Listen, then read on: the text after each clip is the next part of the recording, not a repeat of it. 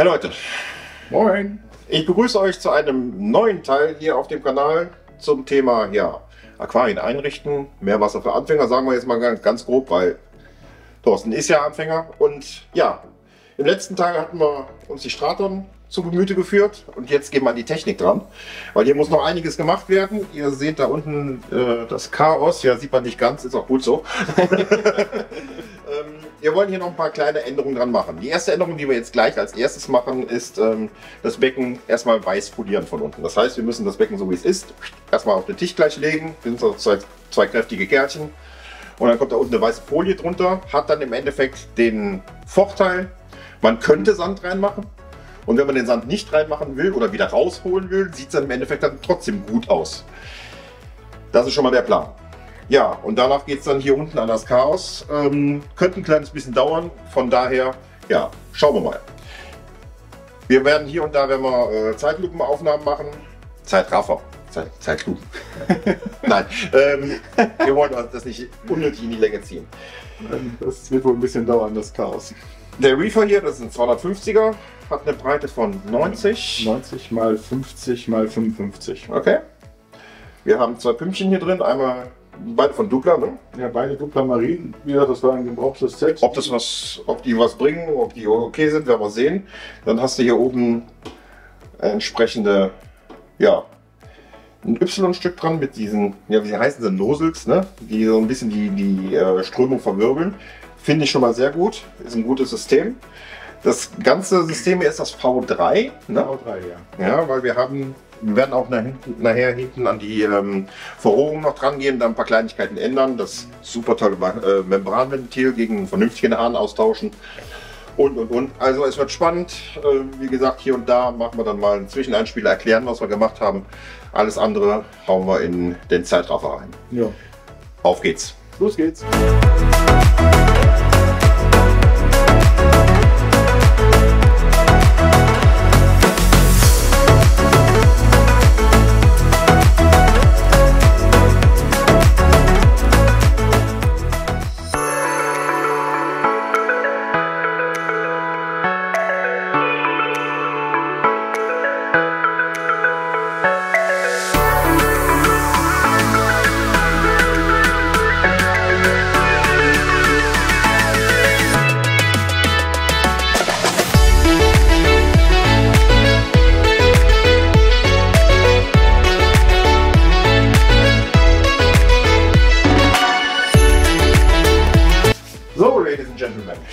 Jetzt hier im Prinzip, sind wir hingegangen und haben die Folie grob zugeschnitten. Hier unten haben wir den Ausschnitt.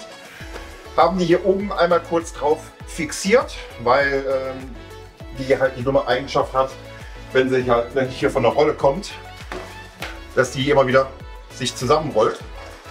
Sobald man dann die Folie abgemacht hat und die Flüssigkeit da drauf gekommen ist, konnte man die im Prinzip von der Fixierung wieder lösen. Auf der Folie selber ähm, das haben wir jetzt mit Glasreiniger gemacht. Ja. Mal gucken, was passiert.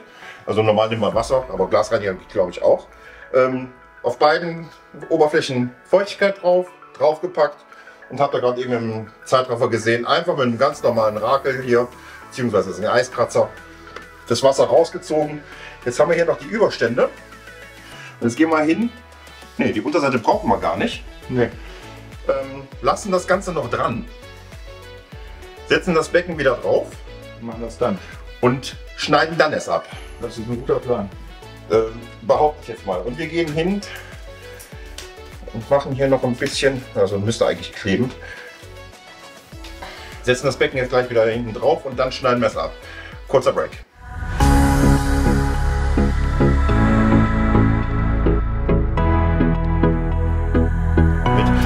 So, Becken steht und jetzt müssen wir das Ganze noch auf der Vorderseite hinschneiden. Du.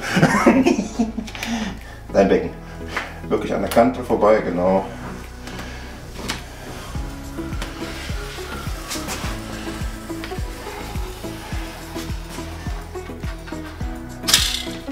Was ein Scheiß. Äh, Entschuldigung. so, aber die Kopfseite. Kommst du da auch sauber dran vorbei?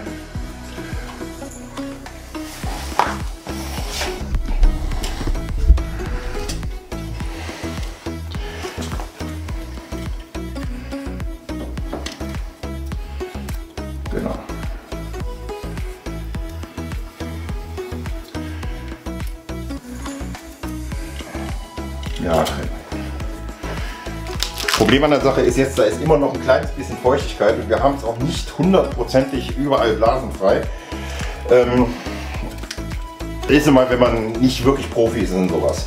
Andere hätten es wahrscheinlich anders gemacht, aber äh, tatsächlich nehme ich euch mal kurz hier von der Kamera runter, dann schauen wir mal ins Becken rein und ihr seht, ja, ich sag mal, da kann man mit leben. Ist auch schon ein ganz anderes Bild, ganz andere Reflexion jetzt hier. Ne? Also schon genial. So, was wir jetzt im Endeffekt versuchen hier unten ist ähm, die Verrohrung ein kleines bisschen zu optimieren und gleichzeitig noch einen, ähm, einen Bypass zu legen, den wir für die UVC nutzen. Wir machen das Ganze jetzt hier in dem, in dem Rücklauf selber. Hier ungefähr, hier sitzt die, die Schelle. Das heißt, wir können direkt hier hinter die Trennung machen. Wir müssen ja ein Stück rausnehmen. Alles wie Auge hier. Dreimal abgeschnitten, noch zu kurz. Pass mal auf. Haben ist besser wie brauchen. Abschneiden kann man immer noch. Ja. Jetzt machen wir es kaputt. Jetzt ist alles vorbei.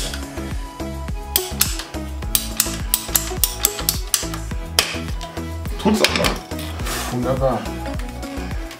So, und er hat das Richtige gekauft. Aber du hast das falsche Stück. Nein, genau das richtige Stück. Achso, du wolltest das dann hinterher auch nochmal kürzen. Genau, wir müssen das jetzt nochmal einkürzen an sich, weil das ist das Original. Das kommt dazwischen. Ähm, wir können noch, wie Zollstock.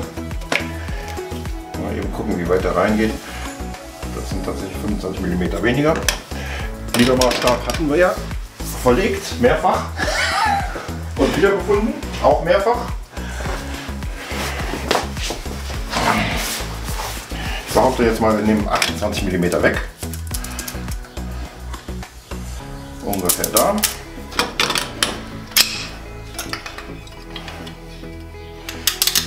Den Finger sollte man nach Möglichkeit dran lassen.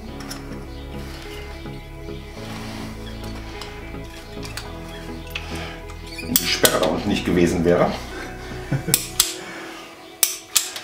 Aber wenn wir zu viel abschneiden, kein Problem, wir haben Muffen, wir können wieder verlängern.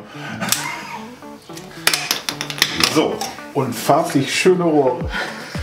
ja, haben ist besser wie brauchen. So, das wäre jetzt die Grobkonstruktion. Jetzt haben wir genau das, was wir schon mal brauchen. Rein. Auch rein. Jetzt brauchen wir, jetzt brauchen wir ein anderes Rohr. Nicht wenig. Und die ähm, eine von den Reduziermuffen für den. Ja, das sind die kleiner.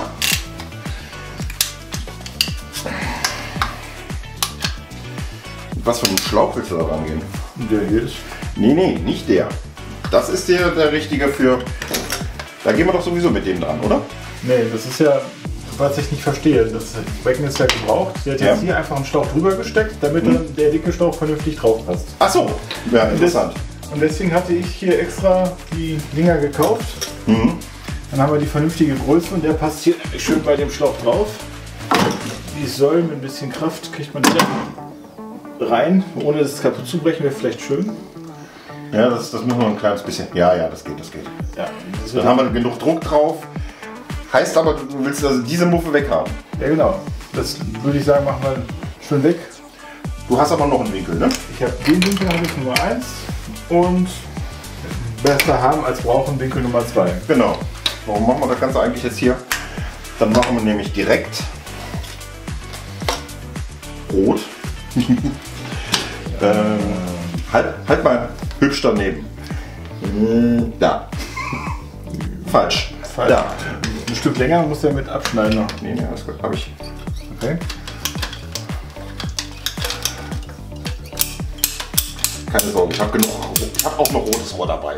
Ja. Das macht mir keine Sorgen. So, dann gehen wir mit dem nach unten und den dann könnten wir direkt dran machen. Wir könnten aber jetzt auch noch eine Muffe dran machen. Nee, das Rohr passt so in den, den Dings rein. Das passt direkt da rein, richtig. Möchtest du das direkt an der Stelle? Nee, ich würde das weiter unten machen. Dann Genau. weniger, weniger Lärm und weniger Schlauch, Gedöns im Schrank rumhängen. gehen wir auf die Länge, wie gesagt. Hin. Dann machen wir noch den, genau, da hast du auch liegen. Dieses Ding hier. Aber ich weiß, wer da mehr Erfahrung mit hat, der Jonas.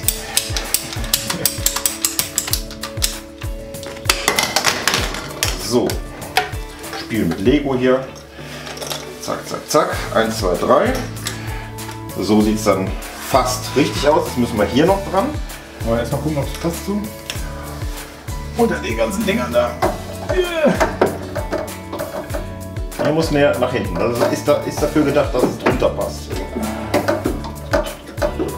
So war zumindest mein Glas. Ansonsten müssen wir den, den Abstand nach unten verlängern. Ähm, ich würde das Rohr verlängern. Ja, dann verlängern wir das. Ja, Moment. Warte, den drücke ich einfach jetzt mal rein, damit wir besser gucken. Cool, da ist Luft, oder? Ah, das gut. Da ist Luft hinter.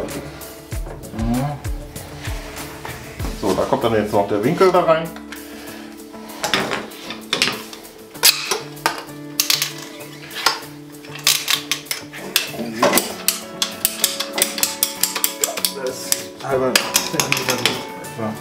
So, so hast du dir das gedacht, ja? Ja, genau.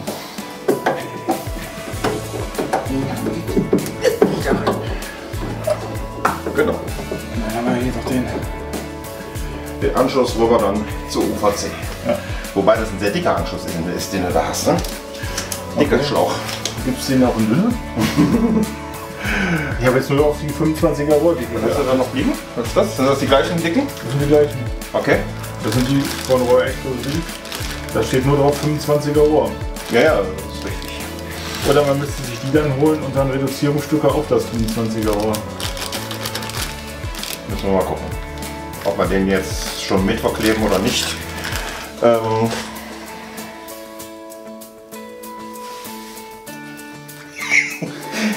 Der hat doch hier die richtige Dicke. Da. Okay. Kriegen wir den denn da rein? Na sicher. Passt ja. Luftmasse nehmen wir raus. So, Den reduzieren wir jetzt hier noch von der Länge her, dann müssen wir nicht so weit runterkommen. ja. Und dann sind wir da, wo wir hinwollen. Da haben wir nämlich direkt den richtigen Anschluss. Okay. Dreimal abgeschnitten, noch zu kurz. Wenn man das jetzt mal machen würde, mit der Spitze zuerst da rein. So, und zack, Ja. so soll das. Da kommt dann die Schlauchbülle drauf, den Rest kannst du hier festdrehen. Neue Dichtung hast du ja auch. Ja. Und dann soll das Ganze so aussehen. Geht jetzt ein Stück weit raus, müssen wir jetzt mal gucken, wie das mit der UVC an sich geht. Machen wir einen kleinen Schnitt und gleich weit- geht's weiter.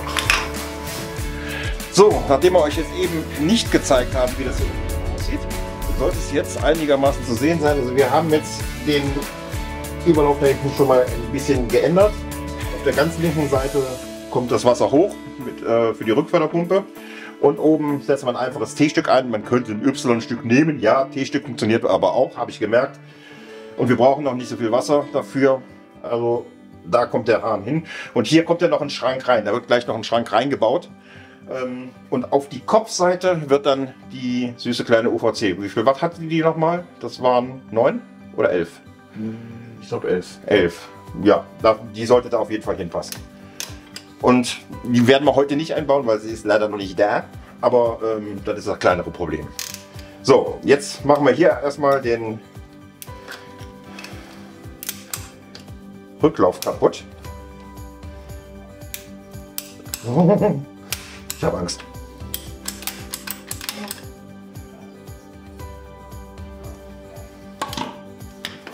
So, ist nicht nach oben durchgerissen. Schön. So, jetzt brauchen wir erstmal das, die Muffe. Genau. Die wird dann so da drauf kommen. Und jetzt nehmen wir uns hier gleich ein entsprechendes Gegenstück. Haben wir natürlich erstmal das Problem. Wie weit runter müssen wir? Damit, wir, damit es noch klemmt. Klemme müssen wir ja noch. Die kann man versetzen.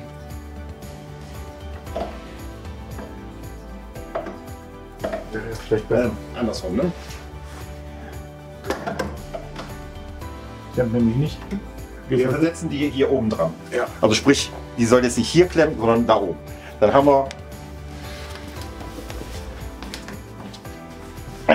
so, so soll es dann aussehen. Und wir schwitzen, also ich. Ja, ich auch. Wo? Unter der Füße oder was? Das verrate ich dir jetzt nicht. So, den lassen wir erstmal draußen. Steck mal hinten rein. So. Obwohl. Könnten die direkt markieren. Wie die zwei Profis am Werk. Ich merke das schon hier. Hast du auch zum Anzeichnen?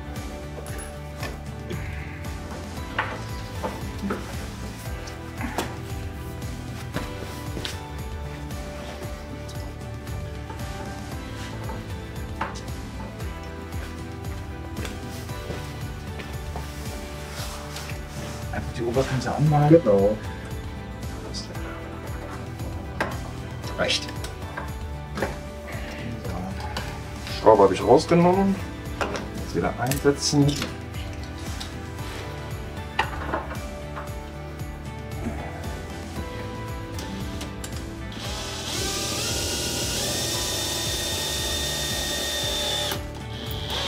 Nicht zu fest, weißt du, ne? Ja. Du machst heute immer die Schrauben kaputt. Genug Druck drauf. so. Dann noch eine Probe stecken erstmal da rein. Dann hinten. So, jetzt können wir hier tatsächlich so ein kleines bisschen. Na, das passt genau. Und wir wollen den Hahn. Haben, was haben wir hier? Hier haben wir das Reservoir direkt daneben. Ne? Das kommt hier so hin. Gut, das heißt also, das passt. Und den Hahn machen wir auf die Länge ungefähr. Ungefähr. Das heißt, Ja, so, sieht gut aus. so, Pi mal Daumen. Wird schon schief gehen. Dreimal abgeschnitten, noch zu kurz, ihr kennt das. Aber wir haben ja noch ein bisschen Rohr. Das war bei mir schneller weg, als du denkst. Das, was wichtig war, also sprich das, das mit dem größeren Durchmesser. Du hast aber auch einen Pott und keine Pfütze. Ja, jeder hat mal klein angefangen. So, zum ersten. Zum zweiten. So, und jetzt brauchen wir noch die Länge des Fallrohrs bis nach unten. Ha, können wir fast so nehmen. Ja, 3 cm hätte ich jetzt fast gesagt. Kann man schon fast so lassen. Und wisst ihr, was das Schöne an der Sache ist? Das Rohr, wenn das hier, das untere, da ist ja kein Druck drauf. Wenn das jetzt so fest so reingeht, das kann man so lassen. Tun wir das. Ja? Das heißt, wir müssen nur den oberen Teil verkleben und das untere stecken wir nur rein. Ist das die Schnittkante? Das ist die Schnittkante. Dann drehen wir das um. Perfekt. So. Und das müssen wir jetzt kleben. Ja, dann haben wir es schon. Wenn wir den jetzt noch richtig kleben, nämlich so, wenn wir den falsch kleben, dann haben wir ein Problem. Also mit Öffnung nach vorne. Dann haben wir den wunderschönen Stellhahn hier. Das Ding ist einfach nur genial. Gut, machen wir einen Schnitt. Das Kleben brauchen wir hier euch nicht zu zeigen. Das hat der Jonas euch schon oft genug gezeigt. Und wie wir das hier machen, das wollt ihr gar nicht sehen. also, bis gleich. So, jetzt haben wir im Prinzip die Verklebung gemacht. Die Rohre sind drin, können austrocknen. Ja. Das ging auch relativ gut. Ja. Hoffen wir mal, dass es dicht ist. Werden wir dann spätestens Mitte Juli sehen. wir haben jetzt hier einen Schrank uns gebastelt. Hast du dir gebastelt? Den wir jetzt rechts daneben setzen, weil da ist ja nichts, da ist viel Platz. Ich blende euch das mal eben kurz mit ein, wie es jetzt aussieht. Ja. Ähm, und da muss man ein kleines bisschen Ordnung reinbringen, damit es hübsch aussieht, damit man äh, Kabel verstecken kann, auch mal einen Schrank aufmachen kann, ohne direkt einen Schreck zu kriegen. Das wäre schon was. Gut, verschraubt ist es, machen wir die Zwinge ab, mal gucken, ob es hält, was du hier gebaut hast. Ja. Bisher ist das Haus auch nicht eigentlich. Wie war das, ne? Nö. So. So soll es sein. Sieht erstmal schon, sieht schon mal sehr gut aus. So, tun wir die eine davon. Wir haben die Schaltsteckdosen hier. Und da gucken wir jetzt noch, wo wir die genau montieren, wie wir die montieren. Plan ist natürlich nicht nur der Plan, also es wird so sein, es wird Minimum einer auf einer Seite und einer auf der anderen, vielleicht, je nachdem. Oder beide direkt nebeneinander, müssen wir gucken, weil wir müssen auch im Endeffekt bedenken, wenn wir das Ganze jetzt auch auf der Rückseite mal sehen, dafür nehme ich die mal in die Hand. Wenn ich die jetzt hier so hinten nebeneinander habe, ähm, da passen ja nicht überall die entsprechenden Netzteile hin. Ja. Ja, also ähm, die Netzteile sind was größer, also du kriegst kein Netzteil direkt nebeneinander. Ähm, und wenn wir die so montieren, dann ist die Frage, kommen wir überall hin, können wir alles nutzen? Ähm, da müssen wir noch schauen. Kannst du eigentlich nur auf einer Seite ein Netzteil und auf anderer Seite hast du auch welche mit den dünnen Steckern. Ja, genau. Mit den Punkten, die kannst du dann gegenüberliegen, dann kannst du die eigentlich nutzen. Aber müssen wir mal gucken. Vorteil, vorteilhafter wäre es natürlich, wenn wir beides auf einer Seite hätten, dann haben wir hier noch jede Menge Platz, den wir im Endeffekt auch brauchen. Hier würde ich vielleicht dann noch eine rausnehmbare Wand einsetzen, Mhm. wenn er an die Stecker dran muss. Je nachdem, ob das hier funktioniert oder nicht. Denn die werden wahrscheinlich auch rausstehen, wenn du Netzteile hast. Ja.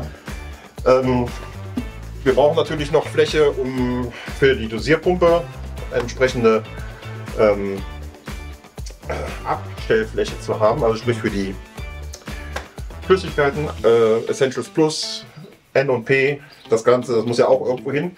Oben drauf kommt die Dosierpumpe, ja. die können wir dann die Schläuche vorne runterlaufen lassen, dann hinten, hier an der Seite muss noch ein Loch rein. Das machen wir jetzt gleich. Das machen wir jetzt gleich. Da kommt noch ein Durchbruch hin, damit wir auf der Höhe die Kabel und Schläuche durchführen können. Ja, und unten haben wir dann noch eine Abstellfläche. So ist der Plan. Ja.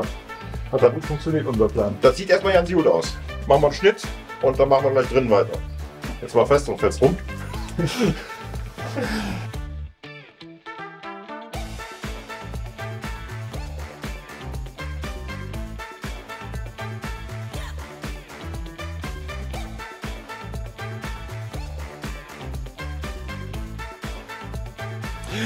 So.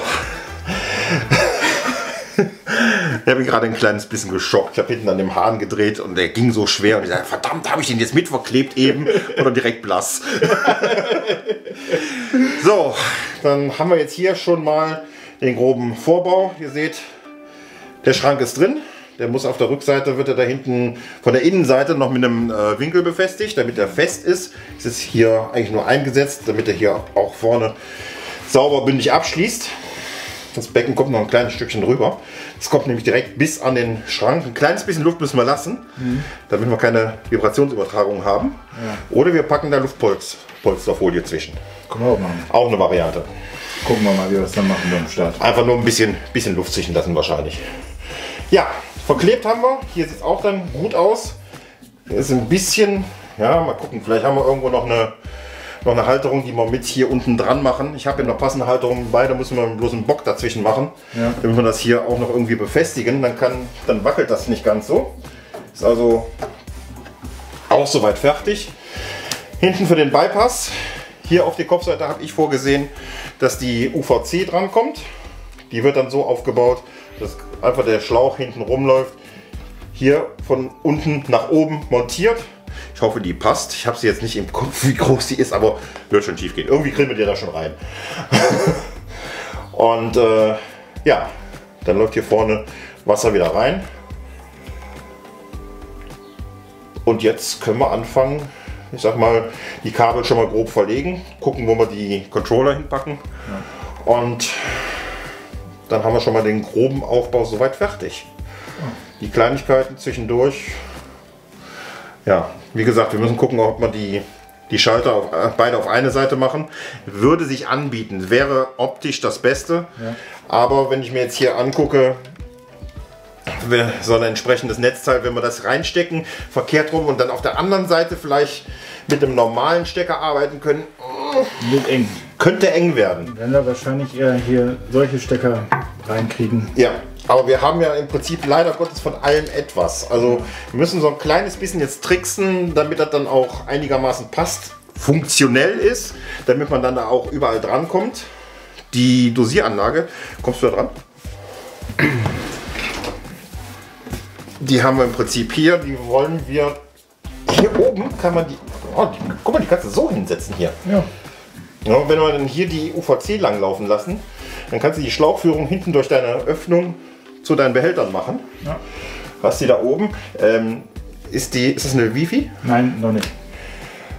Aber du hast äh, ja gesagt, gegebenenfalls eine RF rein. RF oder was Vergleichbares, wenn Ja. wir uns dann mal in Ruhe drüber unterhalten. Weil bei der hier muss ja im Vorfeld immer wieder dran, weil Programmierung obendrauf ähm, ist dann ein bisschen uncool, aber wenn die RF sowieso reinkommt, die ist ja momentan im Angebot gewesen. Ja. Wahrscheinlich, wenn das Video rauskommt, ist das Angebot vorbei, also vergesst es. Zu spät. Ähm, die ließe sich dann auch hier oben entweder draufsetzen oder hier vormontieren mit einer Halterung. Ähm, also die Position davon, ja, da brauchen wir uns über die erstmal keine Sorgen mehr zu machen, weil wenn wir starten, wird wahrscheinlich die RF schon da sein. Ja. Braucht jemand eine Dosieranlage? Nein. Haben ist besser wie brauchen.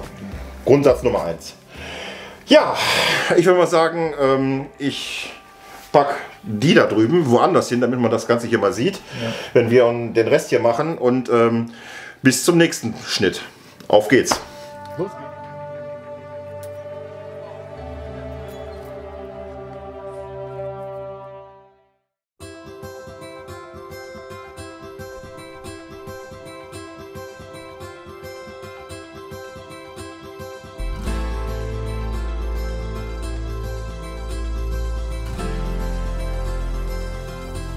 Ja, Ladies and Gentlemen, sieht man mich? Ja. Wir haben tatsächlich jetzt erstmal hiermit fertig. Viel haben wir nicht gemacht und äh, großartig sieht es auch nicht aus. Doch, es hat sich was getan. Also wir haben ja einmal den Boden weiß poliert und das bringt schon mal extrem viel Licht. Eine ganz andere Optik. Vorher war es schwarz, Ja. jetzt ist es weiß und somit haben wir die Option uns geschaffen, wir können Sand reintun, wenn wir wollen. Tun wir aber erstmal nicht. Nein. Aber wir könnten, ja, wenn wir es tatsächlich wollten, reinmachen oder im Nachhinein geht auch noch. Und wenn du dann sagst, nee, ist doch doof, wieder raus und sieht dann trotzdem gut aus. Ja, wir haben die Verrohrung gemacht hier. Die ist geändert worden. Da unten müssen wir noch eine Klammer dran machen zur Stabilisierung. Und wir haben hier einen extra neuen Schrank eingesetzt, der so ein kleines bisschen für Ordnung sorgen soll Ja. mehr Abstellfläche. Ähm, es ist tatsächlich noch nicht alles final so verbaut, wie es sein soll, weil äh, wir haben hier Pumpen von Dupla. Ähm, da müssen wir erstmal gucken, wenn wir es in Betrieb nehmen, ob die bleiben oder nicht. Ähm, von der Lautstärke her, von der Akustik her, Einstellmöglichkeiten. Von daher, wir hatten vor, eigentlich hier die Controller hier auf die äh, Tür zu machen, so wie ich das damals mit meinem Reaper auch gemacht habe. Kann man schön verlegen. Ähm, hier hinten an der Seite geht das auch ganz gut. Aber da wir noch nicht wissen, ob es die finale, finalen Geräte sind, lassen wir die Tür erstmal noch in Ruhe. Genauso wie mit der Decke. Ne? Ja, genau. Ja, aber alles in allem haben wir ganz schön lange gebraucht dafür. Aber es ist auch super geworden. Ja, gut Ding braucht Weile. Ne? Also definitiv. Das nächste, was wir jetzt in Angriff nehmen werden, wir gehen hin und äh, werden das Epo aufbauen und äh, Probe stellen und schon mal grob verkleben. Das kommt aber in einem anderen Video. Also, vielen Dank fürs Zuschauen. Bis zum nächsten Mal. Bis zum nächsten Mal. Genau, es geht weiter. Ciao. Ciao.